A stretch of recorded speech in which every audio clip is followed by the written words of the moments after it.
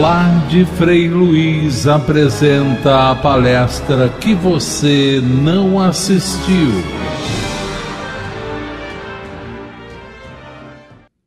Nós temos aqui a nossa palestrante, a nossa irmã Berenice Lima, que vai nos desenvolver sobre o tema Alegria de Viver. Nossa irmã Berenice é integrante do Conselho Curador da Rádio Rio de Janeiro, produtora e apresentadora dos programas Obra, Obras da série Nosso Lar e estudo do livro Memórias de um Suicida, ambos na Rádio Rio de Janeiro. Também fundador e dirigente do Centro Espírita Altivo Pampiro Administra ainda o abrigo Instituto Maria de Lourdes, com 220 crianças em Guapimirim. Por favor, minha irmã.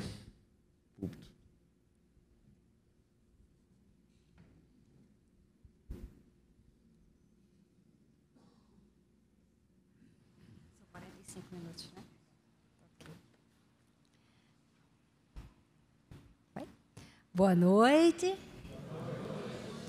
que cada um sinta a presença do seu amigo espiritual, que esse é um momento tão importante para sentirmos as vibrações da casa, as vibrações dos guias, né?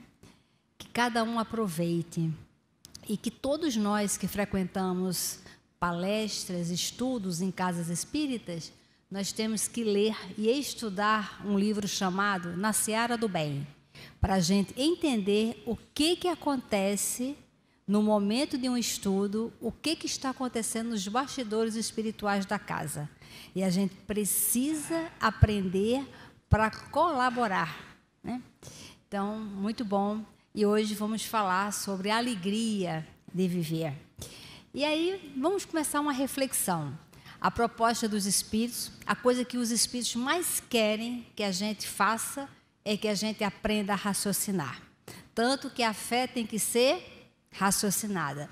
A metodologia que Allan Kardec usa é de perguntas e respostas, porque a gente precisa, precisa raciocinar, ter a visão de futuro. É, quando Kardec lançou a codificação, não tinha casas espíritas. E as pessoas foram lendo os livros e foram criando muitas dúvidas e foram escrevendo para Allan Kardec, foram escrevendo para a sociedade parisiense, contando os causos. Né? Tinha casos assim é, de uma cidade inteira estar numa obsessão coletiva. E aí queriam tirar aquelas dúvidas, pegar orientações com Kardec, então escreviam para Kardec. E Allan Kardec consultava os espíritos também e respondia. E daí se formou a revista espírita. São 12 revistas espíritas. Então ali está minuciosamente é, os temas do livro dos espíritos esmiuçados ali.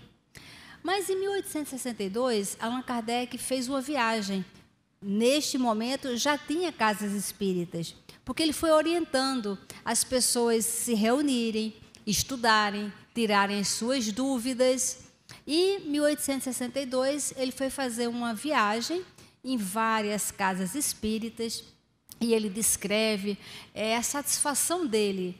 Um homem tão culto como Allan Kardec, um professor com tantos livros é, editados, e encontrar é, homens tão simples, fundando e dirigindo casa espírita, como um senhor de uma fábrica com as mãos calejadas, mal sabia ler e escrever, mas compreendia a missão da vida. E depois dessa viagem, o Allan Kardec escreve para os amigos. E um trechinho que ele escreve, ele fala assim: olha, é, que ele viu muitos médiums iletrados são bastante numerosos e muitos psicografam sem jamais terem aprendido a escrever. Isto não é mais extraordinário do que ver desenhar um médium que não aprendeu o desenho. Então ali ele foi vendo a mediunidade, né, daquelas daquelas médiums que eram analfabetos, mas na hora da comunhão com o espírito, o espírito passando uma mensagem tão profunda. Agora ele diz o seguinte, olha, mas o que é característico é a evidente diminuição dos médios de efeitos físicos à medida que se multiplicam os médios de comunicações inteligentes. É que, como bem o disseram os espíritos, o período da curiosidade já passou. Estamos agora no segundo período, o da filosofia. E o terceiro, que em breve começará, que é este que nós estamos vivendo. Será o de sua aplicação à reforma da humanidade.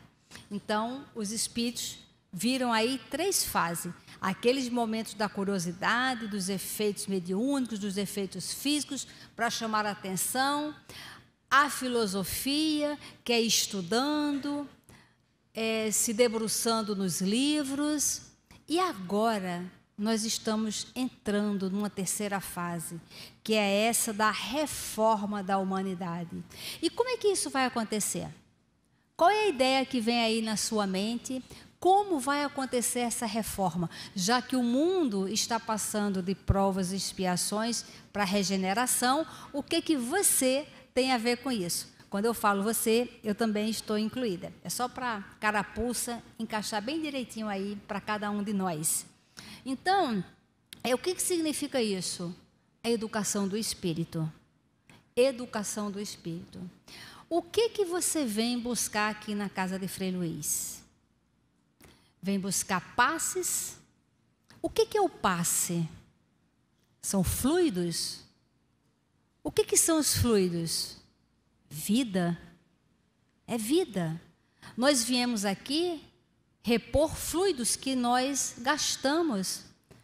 Fluidos que muitas vezes nós gastamos mal, o corpo não aguenta, o corpo adoece e nós viemos aqui buscar fluidos. Precisamos estudar sobre magnetismo, sobre fluido, sobre cada passe que a gente recebe. E a gente vem em busca da cura do corpo. Mas para fazer o quê? Depois que o corpo estiver curado, o que, que você vai fazer? Vai voltar para a vida de antes, a qual, nas práticas, deixou o corpo doente? Ou vai fazer outra coisa? Qual é o propósito de termos a saúde do corpo? Qual é a proposta da cura de cada um de nós. E qual é a cura que nós precisamos? Porque curar o corpo, daqui a pouco desencarna e o corpo fica cheio de saúde, com as células todas bacanas, arrumadas, mas o corpo fica. E o que que vai? E para onde a gente vai? E da onde a gente veio? E quem nós somos?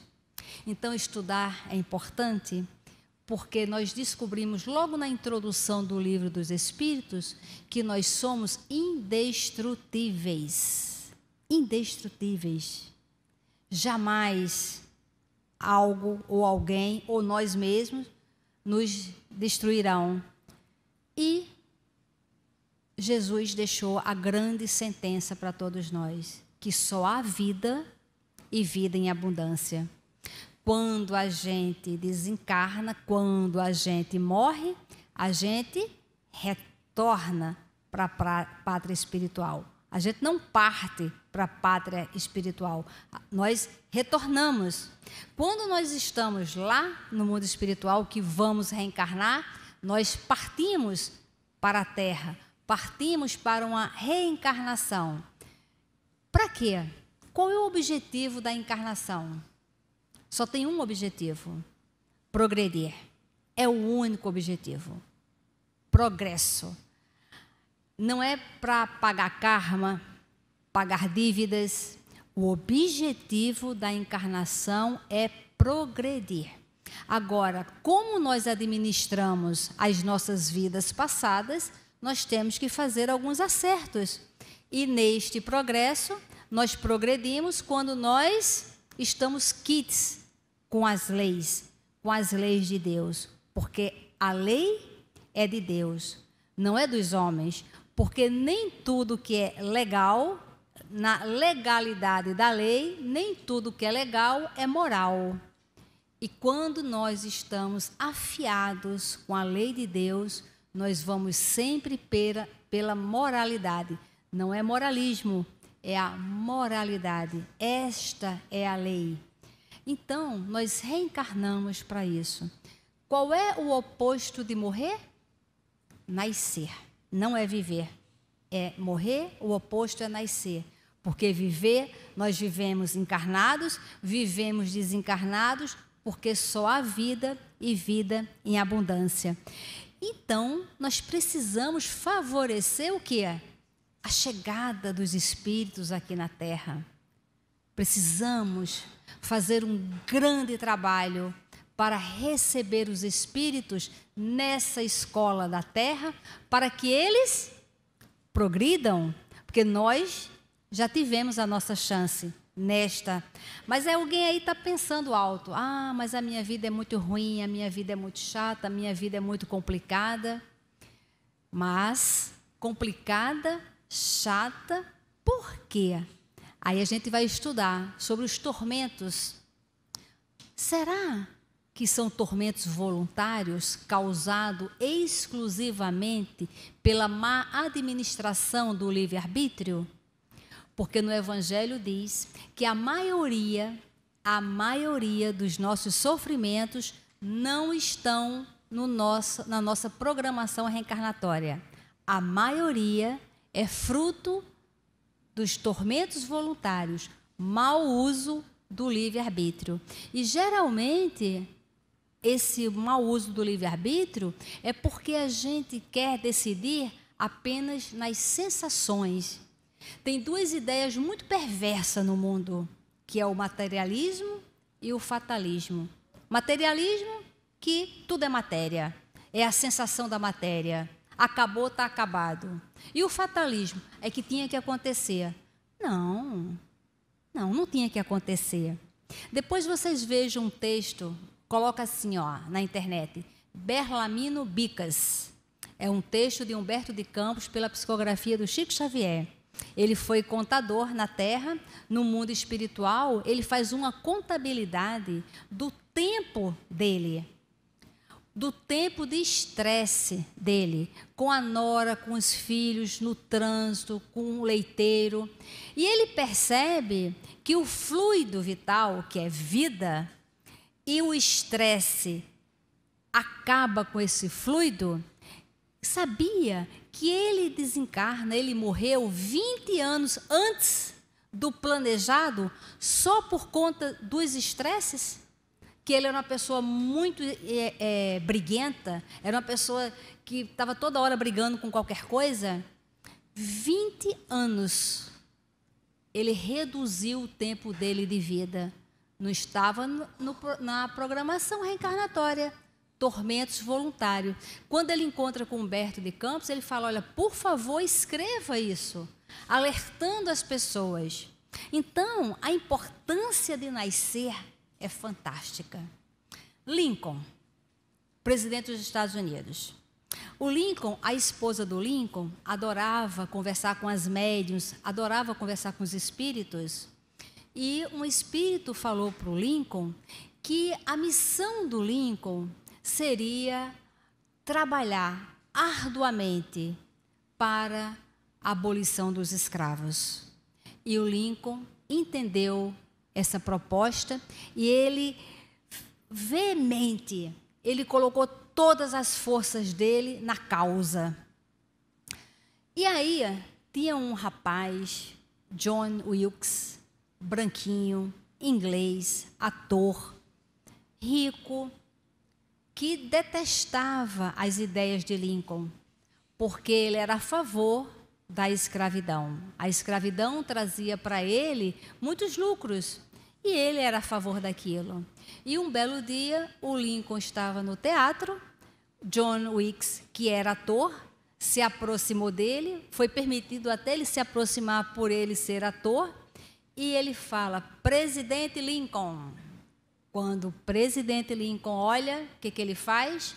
Mata o Lincoln.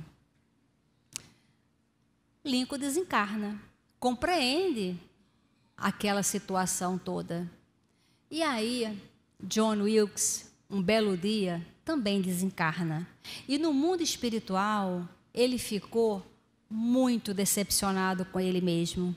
Ele viu que essas ideias perversas do materialismo e da fatalidade prejudicou muito ele, porque ele não raciocinava e ele se arrepende amargamente. Essa história que eu estou falando, quem contou foi Raul Teixeira, um médium muito sério.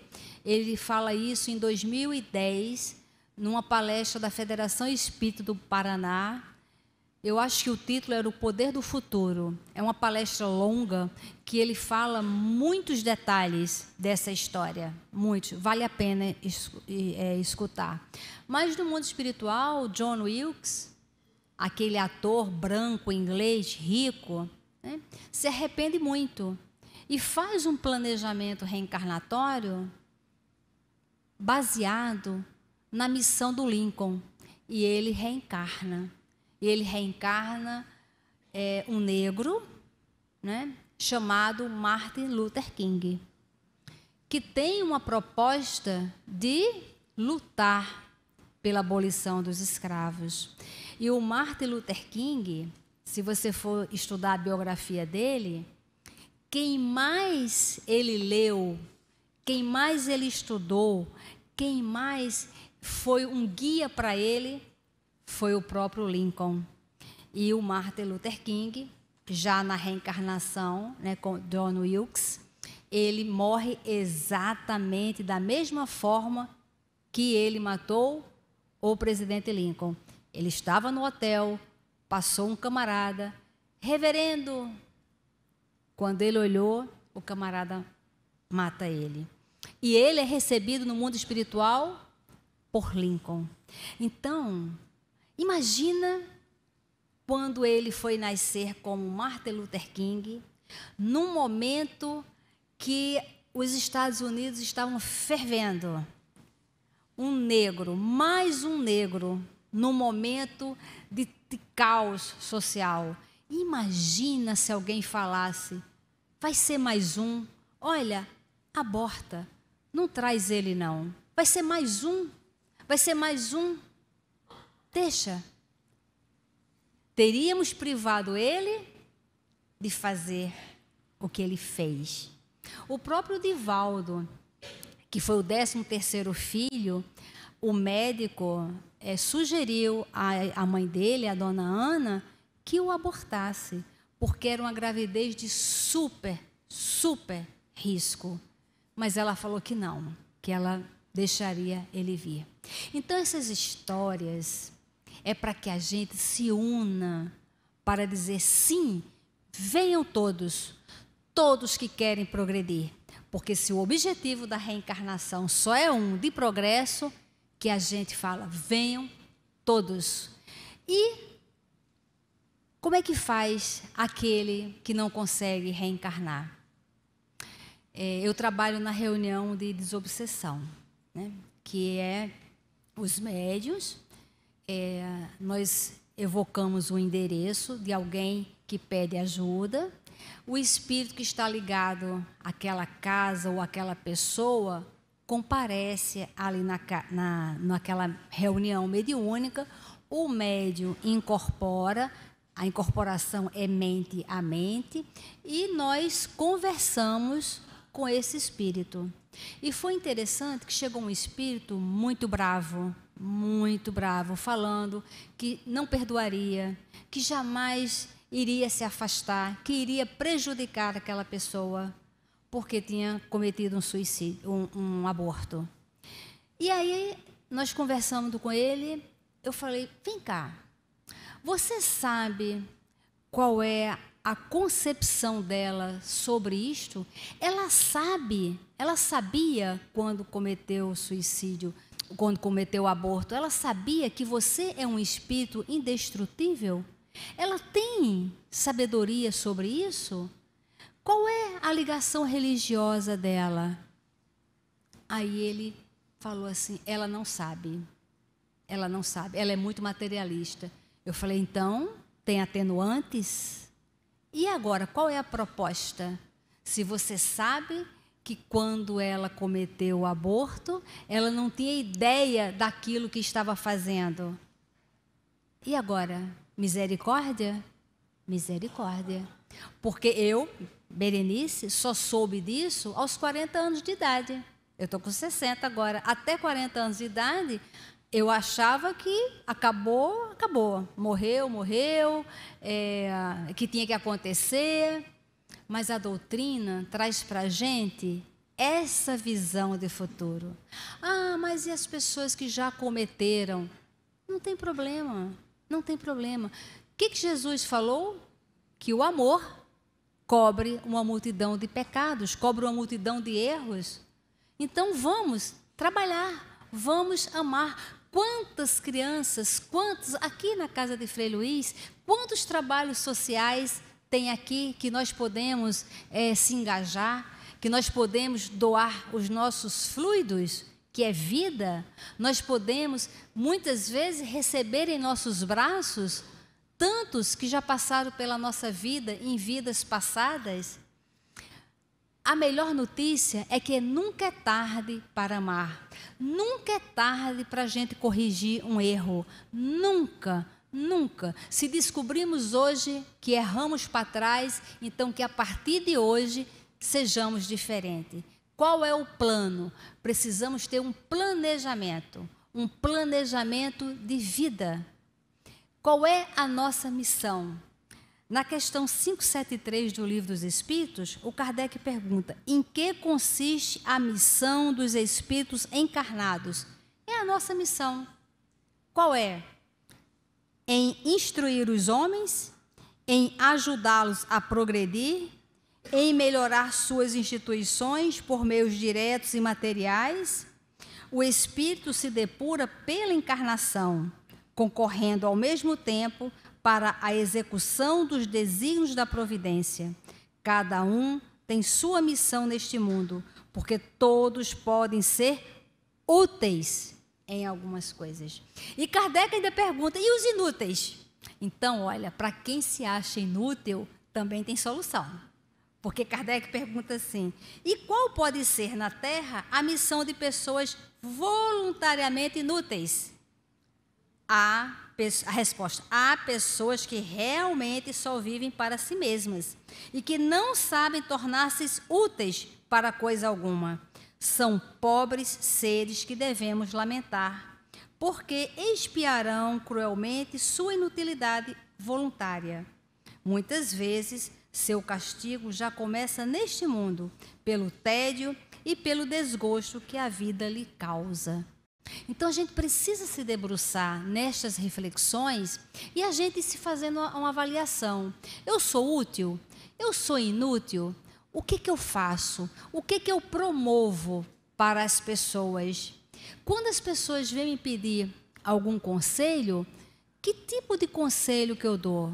É aquele conselho que levanta, que tem visão de futuro? É aquele conselho que derruba, é aquele conselho que vai gerar desavenças.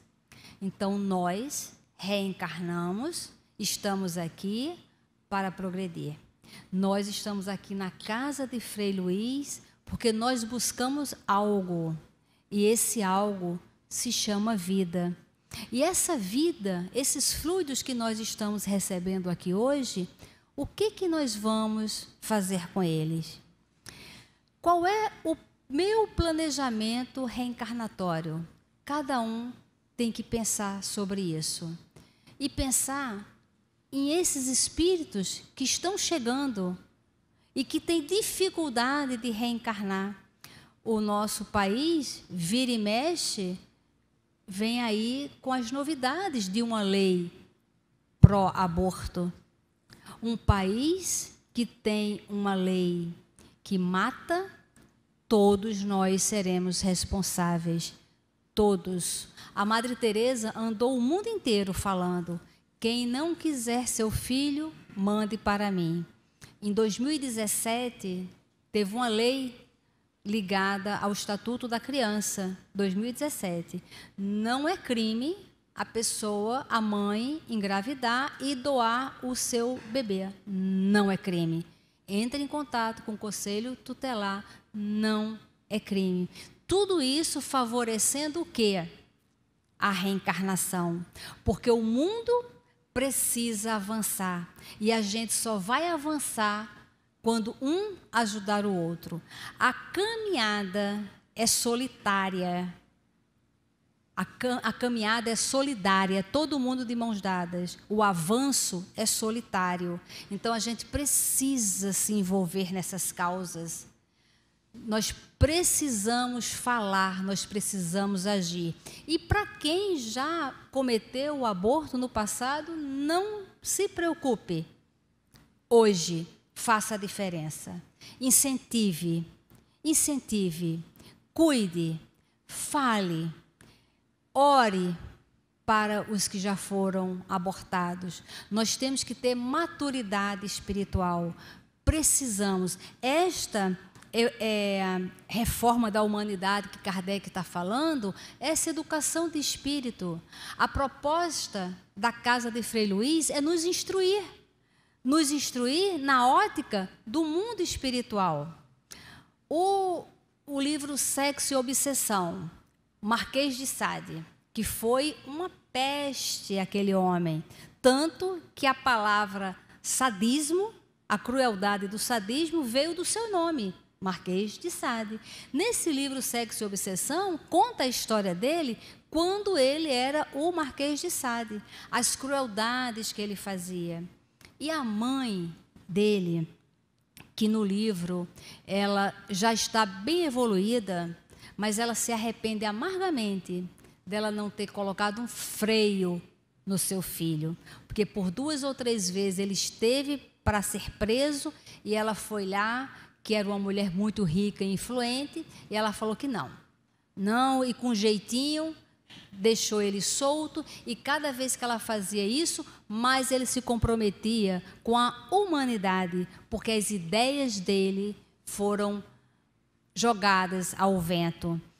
Nesse livro Sexo e Obsessão, que conta essa história, a mãe dele, que se arrependeu muito, mas se arrependeu de uma maneira que quis reparar o erro. Isto é que é a coisa mais fascinante para a gente. Errou, repara o erro. Vamos reparar o erro. Porque Deus, a lei é de justiça, é de misericórdia. Ninguém erra para sempre. Porque essa mãe, a mãe do Marquês de Sade, ela errou muito porque ela sabia o que, que o filho fazia com aquelas jovenzinhas camponesas. As atrocidades que ele fazia. Olha como ela errou. Mas ela se arrependeu.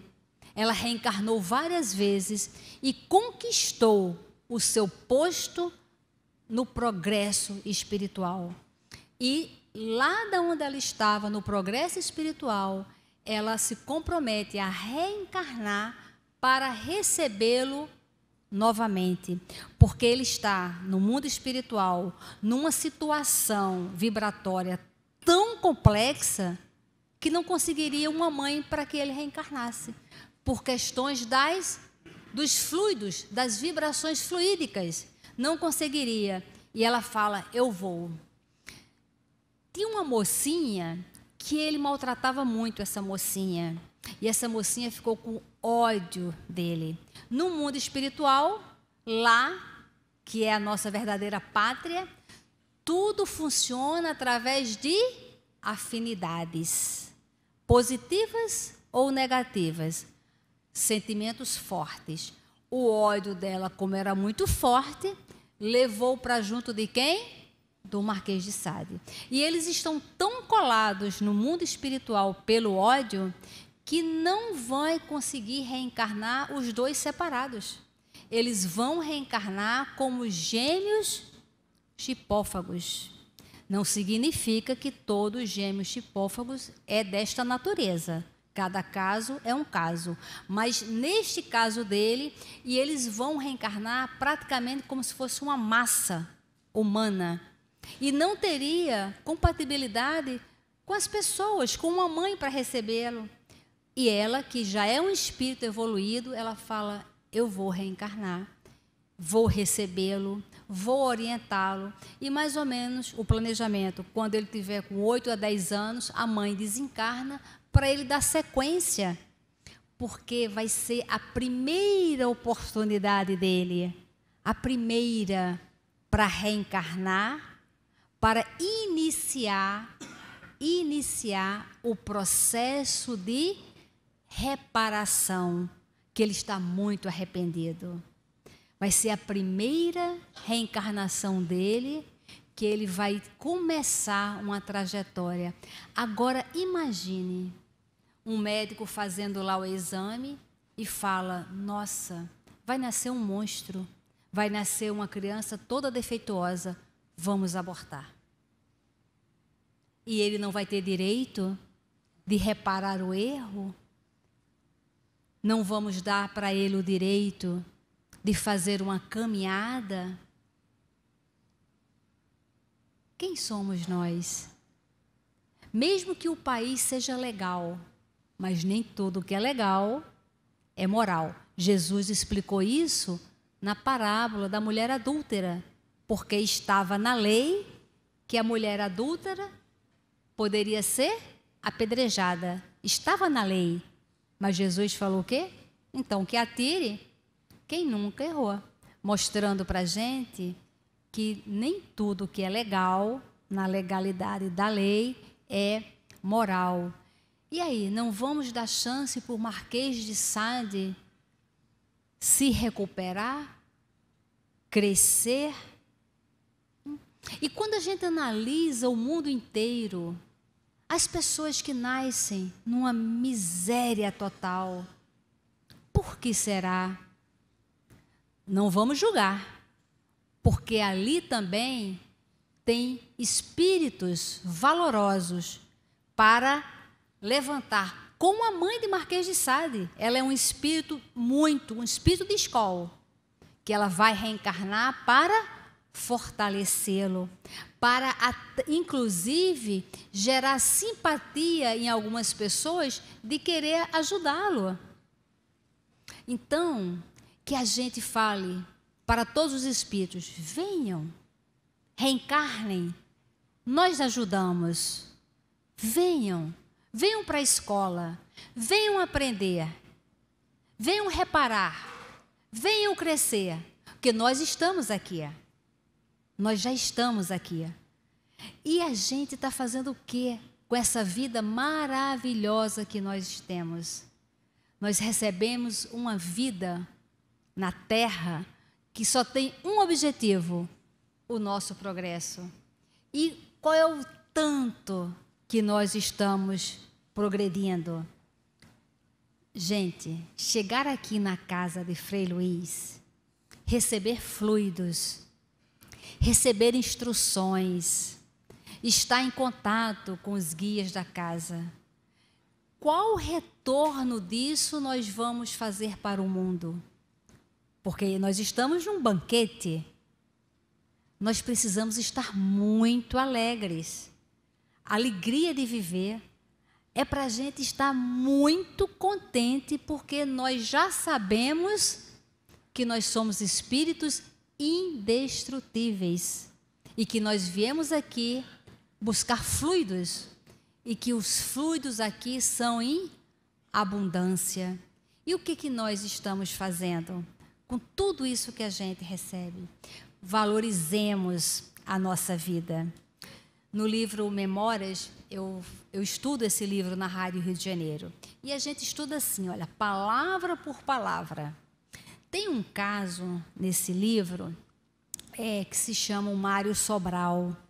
O planejamento de Mário Sobral, ele nasceu muito bonito, numa família muito rica, os pais numa família de harmonia, Ele casou com uma moça muito bacana, teve três filhos. Tudo isso e dono de uma oratória fantástica. Tudo isso porque ele iria estar nessa missão aqui, ó, de instruir os homens numa época que para se chegar a uma universidade era muito difícil. Eram pouquíssimas pessoas que chegavam na universidade. Então, como ele era muito inteligente, tinha oratória e sabia conduzir, ele iria passar instruções para muita gente. Então, para que ele ficasse tranquilo nesta missão de passar instruções, ele já veio com a família para dar para ele um respaldo de organização. Só que o Mário Sobral, quando chega na universidade, ele, ao invés de ir para os livros, ele vai para onde? Para a boemia. E aí ele começa a se envolver com a boemia. E tinha muitos prostíbulos.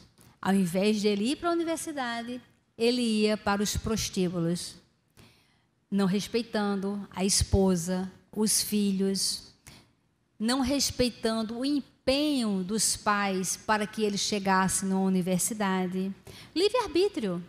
Livre-arbítrio. O planejamento era um, o livre-arbítrio foi outro. E aí, no prostíbulo, tinha uma brasileira, ele se encantou por ela, se apaixonou por ela e queria casar com ela. E ela falava que não, que ali ela estava apenas para ganhar dinheiro, o dinheiro dele, e que ela gostava mesmo era de um outro rapaz. E ele não não aceitou de jeito nenhum, porque ele era muito bonito. E aí, num dia de fúria, ele enforca ela. E na hora que ele enforca ela e ela morre, ele fica no desespero e ele se mata também. Vai para o mundo espiritual. No mundo espiritual, ele leva um choque, porque ele percebe que ele é um espírito indestrutível. E ele passa por todas as situações no mundo espiritual, porque ele reencarnou com muita coisa. Não deu valor. E no mundo espiritual ele se arrepende, ele sinceramente se arrepende. E ele pede para reencarnar. E ele pede muito para evoluir. Então, como ele teve uma família de base muito organizada e ele não deu valor, quando nós não damos valor, o que, que acontece? nós perdemos o direito. Então, muitas vezes, nós estamos em famílias complexas porque nós não demos valor. Mas não importa. A partir de hoje, a gente compreende e se planeja para a próxima reencarnação. Para tudo tem solução. E aí, ele vai reencarnar no Brasil. Aonde é que ele vai reencarnar? Num prostíbulo. Por quê? Porque a prioridade dele no passado, na vida passada, era estar dentro do prostíbulo. E Jesus falou que nós vamos estar aonde estiver o nosso coração, os nossos valores. E ele reencarna no prostíbulo com uma mocinha, muito jovenzinha. E essa mocinha, quando engravida dele, já pensou se alguém falasse para ela Tira. Você é tão jovem, não sabe nem de quem é esse pai. Aborta. Ele não poderia dar continuidade à vida dele? Mas a mocinha deixou ele vir. Só que quando ele nasceu, ele nasceu sem os braços. Só tinha o cotoquinho aqui. Por quê? Porque ele usou as mãos para enforcar a Elvira e para se matar. Ele não queria mais aquelas mãos. Não é castigo dele ter nascido dessa forma. Ele falou no mundo espiritual: Eu não quero mais essas mãos, porque eu tive duas mãos saudáveis que eu poderia ter abraçado os meus filhos, poderia ter abraçado os alunos, poderia ter gesticulado para ensinar os alunos e usei minhas mãos mal. Então, ele perdeu o direito de ter duas mãos. E quando ele nasce, a mocinha fala: Eu não quero essa criança. No prostíbulo tinha uma lavadeira. E a lavadeira falou assim: Me dá ele. Me dá que eu vou levar para criar. A lavadeira era muito pobre. Imagina, ela era lavadeira de um prostíbulo pobre. E aí ela tinha uma filha de é, 10 anos. E ela levou aquele bebezinho sem os braços, ela cuidava, a filha cuidava e foi ali cuidando daquele bebê. A filha dela de 10 anos, também uma moça, é, uma menina de bom coração, foi cuidando daquele bebê e em seguida a lavadeira morre. A filha tinha 15 anos e aquele bebezinho ali tinha uns 5 anos mais ou menos. E a filha fala para a mãe: Olha, pode deixar que eu vou cuidar dessa criança. Quem era a filha da lavadeira? Eu vira. Eu vira. Aquela moça que vendia o corpo em Portugal e que agora resgata em seus braços aquele que foi o algoz.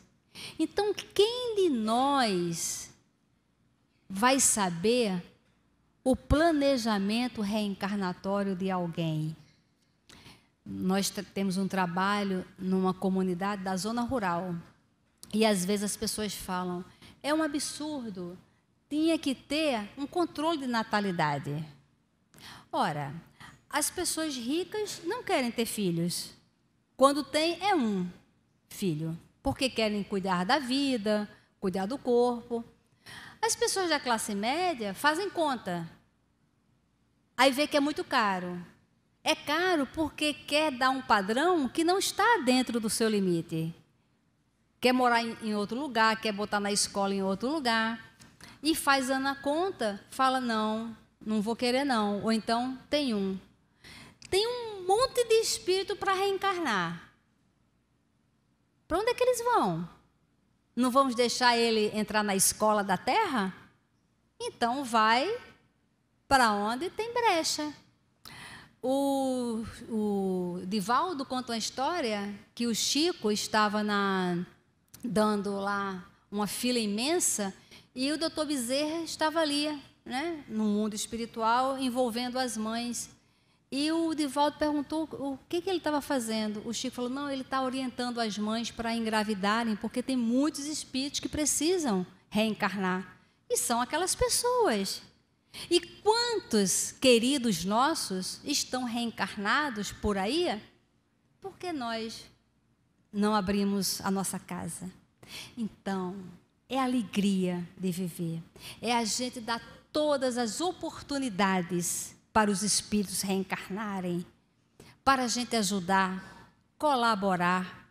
E quem é a favor de aborto? O doutor Bernard Neidson fez um vídeo chamado O Grito do Silêncio e ele diz: Eu desafio a qualquer pessoa, depois de assistir esse meu vídeo, continuar sendo a favor da prática do aborto.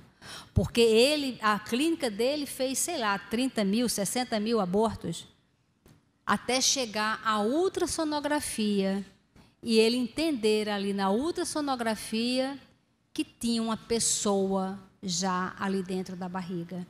E Kardec pergunta: quando que há essa concepção? No livro é, Missionários da Luz, mostra a reencarnação de Sugismundo, que começa mesmo antes do ato sexual. A mãe em desdobramento, recebendo aquele espírito, que ela ainda iria ter o ato sexual para ver a junção. E aí, após o ato sexual, os espíritos, junto com André Luiz, explica né, aquele espermatozoide sendo atraído aquele espermatozoide com as características necessárias para o espírito Segismundo, que vai reencarnar com um problema gástrico sério, mas que esse problema só vai apresentar quando ele tiver adulto, não vai apresentar quando criança, fruto de uma situação da reencarnação passada. Então, que cada um de nós diga sim à vida, a nossa vida, preserve a sua vida. Quando Kardec pergunta, e o que, que leva as pessoas a cometerem suicídio? O desgosto pela vida. E ele fala muitas vezes a ociosidade, muitas vezes a saciedade. Então, diga sim à sua vida, diga sim para qualquer vida, porque só há vida e vida em abundância e muita paz.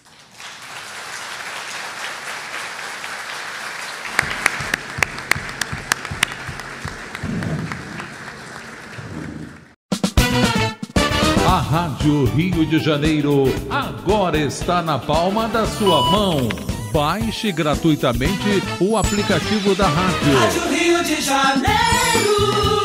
Na Play Store e Apple Store. No seu celular e busque Rádio Rio de Janeiro Oficial.